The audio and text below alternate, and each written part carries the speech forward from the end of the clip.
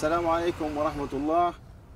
إخواني المواطنين آه، في الدولة وقت فصل الربيع آه، أجا والناس بدأت تطلع تتنزه.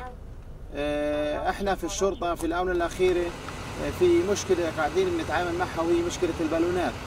البالونات بتيجي من منطقة قطاع غزة.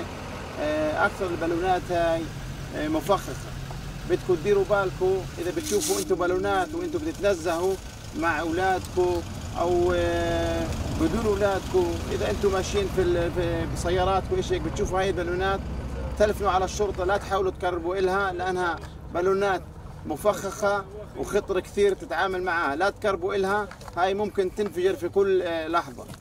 آه، بنطالبكم على كل إنسان بشوف في بالون هن على شكل بالونات أعياد ميلاد بالونات بيضة بالونات فيها ألوان حمر آه، آه، زرق.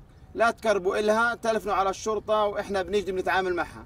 حذروا الأولاد ما يقربوا من هاي البالونات لأن هاي البالونات مفخخة لا تقربوا منها وشكرا لكم يا أخوان.